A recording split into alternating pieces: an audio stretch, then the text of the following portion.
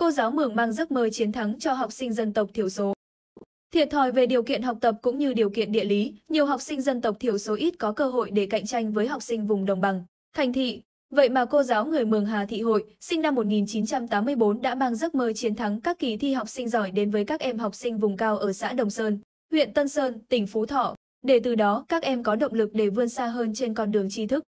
Những học sinh giỏi đầu tiên Thời gian trôi qua rất nhanh, mới ngày nào mình còn là một cô giáo trẻ, bỡ ngỡ bước vào nghề, vậy mà cũng đã trải qua 17 năm. Cô Hà Thị Hội gắn bó với ngành giáo dục và với ngôi trường phổ thông dân tộc bán chú trung học cơ sở Đồng Sơn. Ngần ấy năm trôi qua, với biết bao kỷ niệm vui, buồn cứ thế đầy áp lên từng ngày. Trong những năm học qua, khi thực hiện giảng dạy bộ môn lịch sử và địa lý, cô hội cảm nhận được rằng học sinh ở vùng quê mình cũng say sưa học tập và yêu thích lịch sử. Điều đó được chứng minh bằng việc hàng năm các em theo học đội tuyển và không phụ lòng cô, cố gắng đạt những thành tích cao. Nhớ lại khi mới về trường, vào năm học 2008, khi được giao nhiệm vụ bồi dưỡng học sinh giỏi cấp huyện, một học sinh đã đạt giải cấp huyện. Đây là học sinh dân tộc thiểu số đầu tiên của trường Đạt Anh hiệu học sinh giỏi cấp huyện môn lịch sử. Điều đó là động lực để cô hội say mê và cố gắng hơn trong sự nghiệp chồng người của mình. Cứ thế, mỗi năm học trôi qua, khi lên lớp, qua mỗi bài học, cô đều thấy các em rất thích thú với giờ học của mình. Điều đặc biệt khi nói đến việc ôn thi học sinh giỏi thì rất nhiều trò muốn được theo học đội tuyển của cô. Qua mỗi năm, với kết quả dạy học trên lớp và kết quả bồi dưỡng học sinh giỏi, từ việc chỉ có một học sinh giỏi cấp huyện ban đầu, cô đã có nhiều học sinh đạt giải cấp huyện, cấp tỉnh. Cô hội hạnh phúc vì mình đã góp phần vào bảng thành tích của các em, trở thành hướng đạo sinh cho các em đi trên con thuyền đến với ước mơ, vươn xa khỏi vùng cao lam lũ. Với những nỗ lực không ngừng của cả cô và trò, những thành tích ngày càng dày thêm. Bản thân cô cũng nhiều năm liền đạt các danh hiệu cao quý như chiến sĩ thi đua cơ sở, bằng khen của tỉnh Phú Thọ, bằng khen của Bộ Giáo dục và Đào tạo, kỷ niệm trương của Ủy ban Dân tộc Trung ương. Đối với cô, đó thực sự là niềm vinh dự lớn lao trong cuộc đời của một nhà giáo. Khát vọng thay đổi thế hệ trẻ ở quê hương. Sinh ra và lớn lên ở miền quê nghèo xã Đồng Sơn, quanh năm gắn bó với đồng ruộng, núi đồi, nhìn thấy sự vất vả, cực nhọc của cha mẹ trong lao động sản xuất, cô giáo Hà Thị Hội luôn ý thức được việc học là con đường giúp cô thoát khỏi sự vất vả, cực nhọc. Cô mơ ước trở thành một cô giáo để mang kiến thức đến cho các em học sinh nơi quê hương mình. Năm 2006, tốt nghiệp Đại học Tây Bắc, cô về nhận công tác ở trường Trung học phổ thông Hương Cần, huyện Thanh Sơn.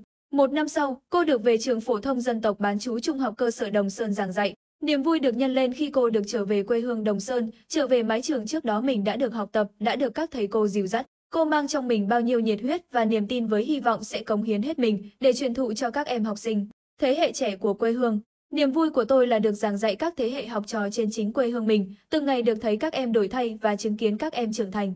Cô Hà Thị Hội chia sẻ, cô hội cũng cho biết hầu hết các em học sinh ở đây đều có hoàn cảnh gia đình rất khó khăn. Phụ huynh đều đi làm ăn xa nên đa số các em chưa được sự quan tâm của gia đình, chưa có ý thức tự giác và chăm ngoan trong học tập. Đa số các em là con em dân tộc Mường và Giao, tính cách nhút nhát, khó gần. Chính những điều đó đã ảnh hưởng không nhỏ tới chất lượng dạy và học của giáo viên, học sinh. Cùng với đó, giao thông đi lại vẫn còn khó khăn mặc dù vừa rồi địa phương đã được xây một cây cầu mới. Từ các khu xóm ra học, các em vẫn phải đi qua các tràn nhỏ nên vào mùa mưa bão, nước lũ chia cắt các con suối, học sinh cũng phải nghỉ học. Nhiều em phải đi bộ vài cây số từ trong bản ra lớp học. Hơn nữa, gia đình các em còn nghèo lắm, bố mẹ phải đi làm ăn xa nên không có điều kiện để theo sát việc học hành của con. Bởi thế, cô hội vừa là cô giáo, vừa như người mẹ chỉ bảo, dạy dỗ các em từng chút một.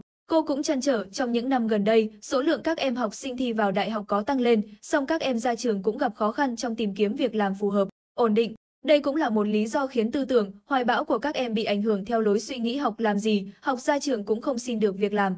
Bản thân tôi là một giáo viên trực tiếp được dạy học trên chính quê hương mình sinh ra. Mong muốn lớn nhất của tôi là các thế hệ mai sau của mình sẽ luôn cố gắng học tập, trưởng thành và thành công. Các em sẽ được tạo điều kiện tốt nhất trong việc học tập, định hướng, tạo việc làm sau khi tốt nghiệp để các em có động lực hơn trong học tập. Từ đó các em học sinh, các thế hệ mai sau sẽ góp phần xây dựng quê hương Đồng Sơn ngày càng phát triển hơn, cô Hà Thị Hội chia sẻ. Cô Hà Thị Hội hiện là tổ trưởng tổ khoa học xã hội, trường phổ thông dân tộc bán chú trung học cơ sở Đồng Sơn. Cô có nhiều năm liền đạt danh hiệu chiến sĩ thi đua cấp cơ sở và danh hiệu giáo viên giỏi cấp huyện. Năm học 2019-2020, cô nhận bằng khen là người dân tộc thiểu số đã có thành tích xuất sắc trong công tác giáo dục học sinh tại các vùng biên giới và vùng có điều kiện kinh tế. Xã hội khó khăn của Bộ trưởng Bộ Giáo dục và Đào tạo, đặc biệt dưới sự dẫn dắt và rèn luyện của cô. Từ năm 2015 đến nay, đã có gần 30 học sinh đạt danh hiệu học sinh giỏi cấp huyện, 6 em đạt học sinh giỏi cấp tỉnh.